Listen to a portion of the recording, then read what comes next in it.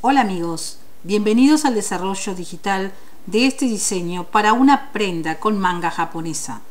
Esta blusa fue sugerida por uno de ustedes y podemos observar que esta manga tiene una manga japonesa corta que presenta una pinza que parte desde el inicio de la manga propiamente, es amplia en la parte inferior y además tiene un escote bote o barco, también llamado. Siempre vamos a partir por los patrones básicos que previamente se han trazado a medida y se han probado. Serán ahora nuestras plantillas. Vamos a trabajar con la parte delantera de la manga.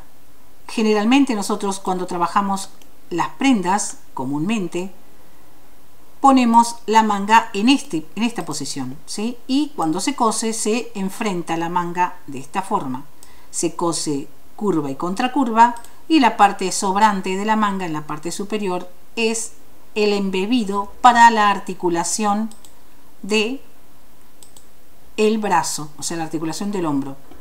En este caso, nosotros con nuestro modelo vamos a erradicar por completo esa, articulación. Se la vamos a eliminar justamente porque estas mangas no permiten que el brazo gire o se mueva con la libertad que lo permitiría una manga pegada común.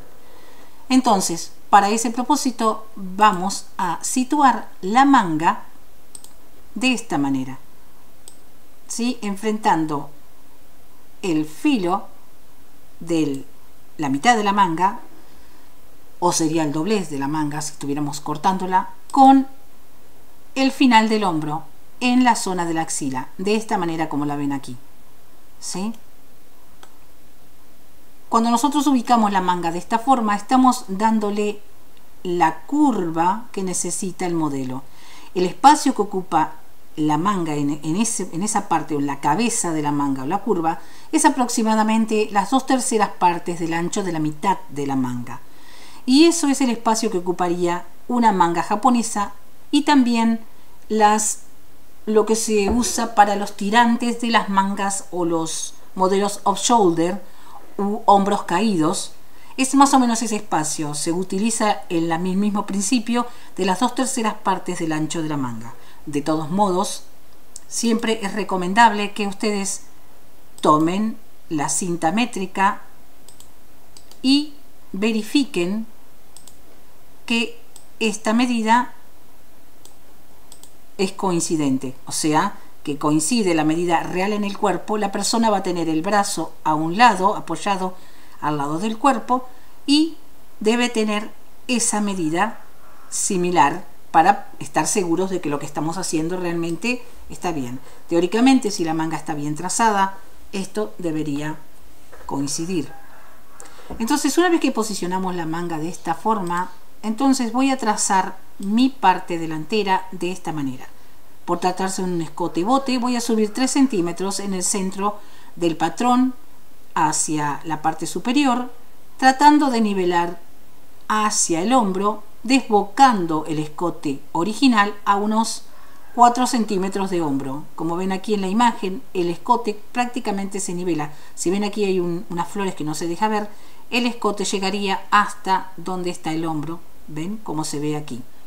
Luego trazamos la parte curva de la manga, esto puede tener la medida que ustedes deseen, puede ser una parte corta, así, como ven ahí, o, como vimos antes, como yo lo tenía originalmente, desde el inicio de donde yo considero que va a estar el largo de mi manga, desde el inicio, desde ese punto que se une con el cuerpo, voy a trazar una línea auxiliar hasta el vértice de la pinza de busto y luego una vez más voy a continuar esa línea auxiliar hasta la cintura pasando por el medio aproximadamente de donde estaría la pinza original de entalle.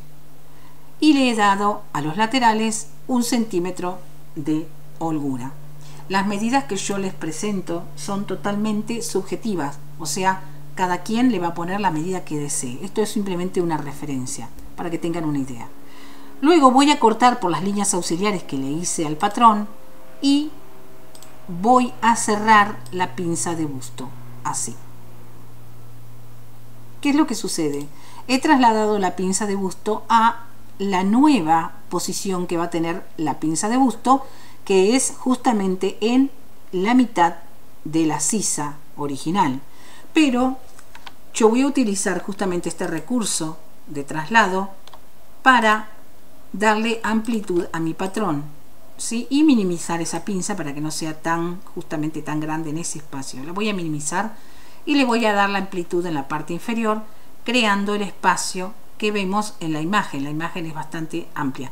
Se puede poner más todavía si se desea. De hecho, si yo quisiera directamente podría eliminar la costura de la pinza, trasladando toda la capacidad de busto a la parte inferior de esta forma.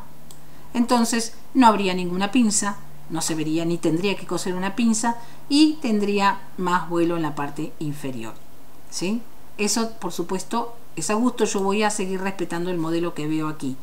Aún si se desea, se puede dar más apertura desde el lateral abriéndolo de esta forma. ¿sí? También esto está sujeto a pruebas, porque tal vez nosotros decimos, bueno, le voy a poner dos centímetros más y cuando hago la prenda queda enorme. Atención, esto siempre es con pruebas. ¿Ok? Bien, esa es la parte delantera. Ahora, cuando yo voy a trazar la parte trasera, en este caso, por tratarse de este tipo de manga, voy a volver a utilizar la mitad de manga delantera y la voy a posicionar como lo hice con la delantera. Voy a utilizar la parte delantera de la manga, no la parte trasera. ¿Sí? Porque esto me asegura que sea simétrico. Recuerden que esto se tiene que coser justo en el borde superior del hombro. En este tipo de mangas, igual que las mangas kimono, no hay diferencia entre la parte trasera y la delantera, deben ser prácticamente iguales.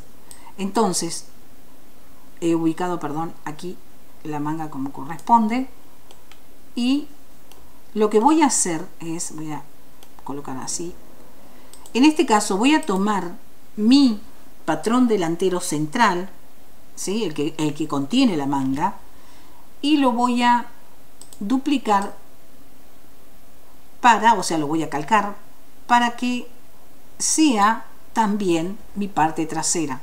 Lo pongo así para que ustedes lo vean con el patrón base. Y lo que voy a hacer es darle la forma que el patrón trasero me indica. ¿Sí? Le voy a buscar ahí la sisa y la axila. Fíjense, presten atención que en la parte inferior está más largo de lo que corresponde, no está a la altura de la cintura. ¿Por qué pasa esto?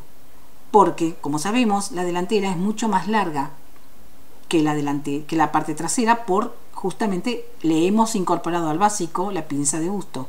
Por lo tanto, nosotros lo que nos, que nos queda es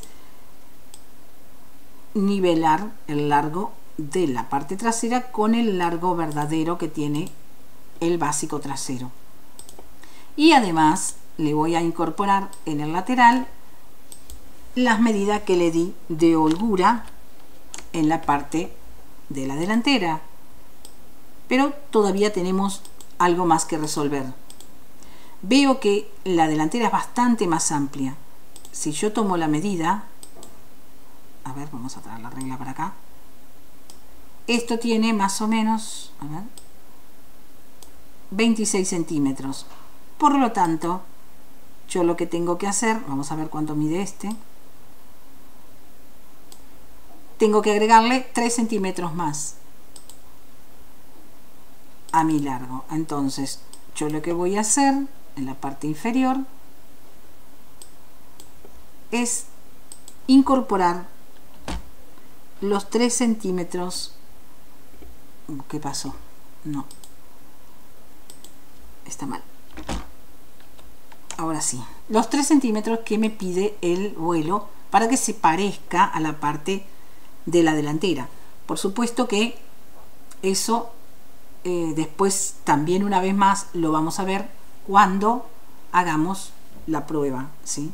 Recuerden siempre, aunque pueda parecer un poco reiterativa, siempre se hacen pruebas previas a cortar la tela real en una tela económica el patrón, porque puede ser que nosotros creamos que está perfecto, mm, quedó divino, y resulta que después cuando lo cortamos uh, cuando tenemos cortado el patrón nos damos cuenta que está, dónde estaba el error. Mientras estábamos haciéndolo no nos dimos cuenta. Entonces es preferible equivocarse con un patrón, el patrón con una tela económica y no con la prenda real. ¿sí? Entonces nos quedaría, el resultado sería algo así. Tengo la parte delantera, he minimizado la pinza, observen que la pinza era larga hasta el vértice de busto, yo cuando voy a hacer la transformación necesito moverme desde este punto ancla. Pero para hacer, el, hacer la... Déjeme que baje aquí. Para hacer la confección no es conveniente que llegue la pinza hasta aquí. No es necesario, aparte queda mucho más elegante si la pinza es más corta. Entonces, como ven aquí, la pinza la he minimizado porque lo que importa en realidad es este, esta unión, que es lo que le va a dar el volumen en esta parte de aquí. Y tenemos la parte de, de, la parte trasera que si yo la superpongo como si fuera a coserla, verán que coincide los escotes, coinciden los hombros y en donde hay diferencia es justamente donde va a estar la pinza que va a darle volumen y la diferencia en el largo que también contribuirá al volumen de la capacidad de busto. ¿sí? Esa diferencia que hay en el largo es lo que hace que luego la prenda se acomode. Pero presten atención a una cosa. A ver, lo voy a dejar quieta para que se vea. Vean aquí la prenda de la, de la modelo. Esta prenda, si ustedes ven atentamente, tiende a irse hacia atrás por tener la apertura así, acá la abertura tan grande, tiende a irse atrás, levantarse, el busto levanta la prenda y la hace ir hacia atrás. Además nosotros hemos eliminado la diferencia que tienen los escotes y los hombros de los patrones básicos, se lo hemos eliminado justamente para hacer este modelo. Y entonces este tipo de prenda tiende a ser una prenda bastante eh, desestructurada, ella se va a mover caprichosamente en el cuerpo, no va a quedar, justamente eso es lo que se busca, ese efecto. La manga no va a permitir que uno mueva los brazos, es como que uno va a estar quieta, más bien con los brazos hacia abajo. Y en algunos casos este tipo de prenda también puede resultar incómoda, ¿sí? Justamente porque nunca se termina de acomodar, siempre se está moviendo y uno tiene que estar siempre sujetando el agua, acomodándola, tironeándola hacia abajo. Hay que tener en cuenta eso cuando uno vaya a diseñar esta prenda. Pero se supone que es así. Se espera que esta prenda sea de esta forma. ¿Ok? La prenda tiene que ir completamente forrada. ¿sí? Va forrada. Y eh, podrían ponerle en la parte de trasera, aquí, o sea, forrarla y no cerrar aquí totalmente, sino dejar como una especie de abertura, como un tajo, y ponerle un ojalillo bordado con un botón para que pase mejor la cabeza, aunque realmente tiene bastante amplitud el escote, pero para mejor seguridad, para más tranquilidad, sobre todo para no desarmar el peinado, lo, lo ideal es ponerle o una abertura o un cierre invisible, también podría ser si quisieran. Bien, este ha sido el desarrollo de la prenda, espero que les haya sido claro. Si tienen alguna duda o quieren hacer alguna sugerencia, saben que lo pueden hacer en comentarios en todas mis redes, tanto en Instagram como en Facebook y ahora también en YouTube. Así que espero que lo disfruten y que tengan en cuenta nuevas ideas para sugerirme que con gusto vamos a desarrollarlos. Nos vemos en la próxima.